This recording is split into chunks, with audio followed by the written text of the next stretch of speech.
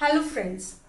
Today we are going to speak on the topic of diabetes and the oral health issues. Can a diabetic have all the dental treatments like other normal people? Also, what are the complications or relation of your diabetes and the oral health? How can your increased blood sugar levels and cavities or gum issues occur because of this? So, come, let us watch in this video what is the real connection and solve some myths. Subscribe to my channel Dr. Mansi Shah and get tips and facts related to good oral health. Hello and a very happy morning to all of you. And here you are on my show Monday Mornings with Mansi and my YouTube channel Dr. Mansi Shah. Friends, as you all know, diabetes is a condition in which the body fails to process the blood glucose. What is exactly this glucose? It is nothing but the sugar or the carbs that we eat in our diet. When this sugar is not broken down and it is not stored in the cells or it is not transported to the cells by an hormone which is called as insulin. So this hormone when it fails the process of breaking down this blood glucose level fails then we suffer from a condition what is called as diabetic. There are two types of diabetes type 1 and type 2. Both of the type of diabetic patients can easily have dental treatments if their sugar is under the control. Diabetic being the second most common uh, disease in the world, it increases three times the risk of having gums and teeth issues. So, how does it increase? Now, when you are diabetic, your mouth also has some blood flow. In this blood also, there is more of sugar that is found. Diabetes increases the risk of having more cavities and more infection. It decreases your capacity to fight with these bacteria. So what are the risks that are involved or how diabetes or the hormone insulin is responsible to give you that dental and oral health issues. So the first most thing is diabetes. If your sugar level shoots up, what is the first thing that you notice is inflammation or redness in the gums. That is, you suffer from gingivitis and periodontitis. That is, what is gingivitis and periodontitis? Okay, it is nothing but redness, swelling, bleeding of the gums. It can, if it is in, at the greater stage, then it can cause bone loss, mobility of the teeth. The second thing is uh, you found a lot of cavities or caries in the diabetic patients. That is because the blood has sugar. The sugar attracts the bacteria and at the faster rate the caries are caused. It causes demineralization and the process of how the cavity is formed is started at a greater speed.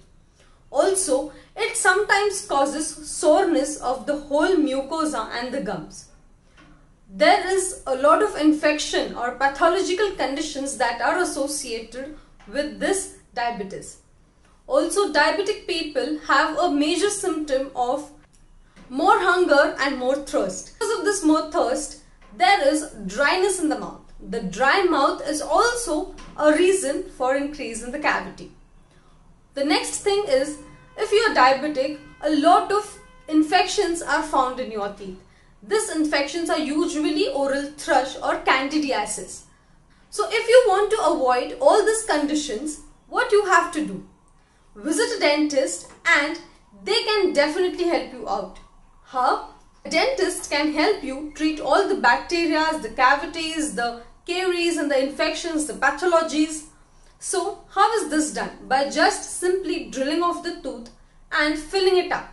If, even if it is a root canal treatment, a diabetic patient can easily undergo this treatment without any worry. The next thing is cleaning of the gums.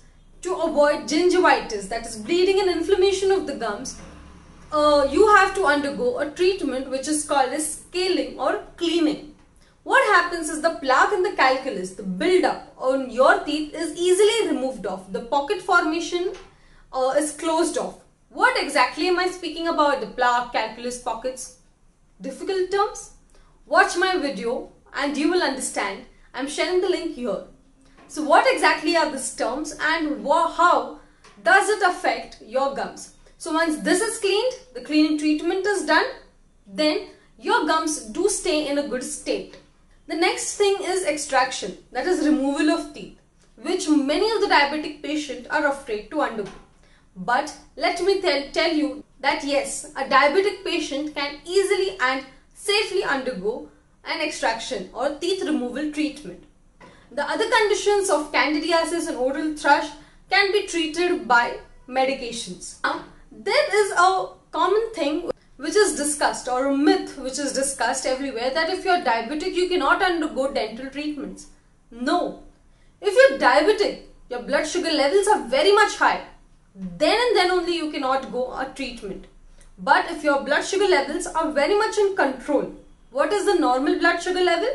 Normally, fasting has to be between 70 to 100 and postprandial that is after food it has to be somewhere 100 to 140. But even if it is below 200, you can have any dental procedure. For removal of teeth, why controlling of sugar is important? It is because the injuries has to be healed quicker. Also, the bleeding has to be controlled or it has to be stopped easily. That's the reason you have to control your sugar. And how can the sugar be controlled? By just visiting your physician, change of some medicines or some intakes of insulin having a good walk, doing some good exercise, and a control on the diet. These three things, if you do it, your sugar comes down in control and then you can easily, safely have this extraction procedure. Also, when doing the cleaning treatment, which I would recommend for every diabetic patient to undergo at least twice a year, that is in every six months. So, if you are diabetic, make sure that you keep your gums in a great and in healthy condition. So in the scaling treatment what I was telling you about that if you are doing the scaling treatment also there is some bleeding and some injury that can happen to your gums. So having a good controlled sugar is very much important. And you know that there is a research that if you have good condition of your gums, your gums are not inflamed or infected, then your HbA1c level, if you are diabetic, you know what I'm speaking about it is an average of sugar levels in your blood of the 3 months. So your HbA1c levels drop down. How is that so? Because if you're diabetic, your gums become inflamed, there is infection that is caused. This infection is not only present in the gums, but it passes down to whole body. And then the whole body gets infected. And the body cannot treat this because there is high level of sugar. But if the infection here is treated, then it is not there in the body and that's how the percentage or risk of infection is reduced. So do not get afraid but take right steps, keep your sugar levels in control and you can have easily any dental procedure. Also, it is important that when you are diabetic, you maintain your oral hygiene in a much better way. Obviously, everyone has to maintain a good oral health. But if you are diabetic or having any conditions, which is more harm uh, which is harming your oral health then you should take some extra care. Use of uh, flossing or interdental brush and a mouthwash is a must must. If your uh, dentist is suggesting use some uh, gum gels which can improvise or some astringents which can improvise the health of your gums then start applying them. The brushing it has to be there. There has to be no food lodgement Make sure that you brush properly. Rinse after every meal. This certain steps which everyone around should follow but you should definitely follow. So make sure you follow them. Increase in vitamin A and C can help you improvise the health of your gums. Eat more of fibrous fruit and less of sugar. This will help you from preventing of cavities. So this were the quick uh, maintaining tips on how can you have a good oral health. So if you have liked my this video, do share it with, um, with your friends and family members. Do not get afraid of any dental treatment. Do like, comment, share and subscribe to this channel Dr. Mansi Shah. Stay healthy, stay happy and stay oral. Thank you.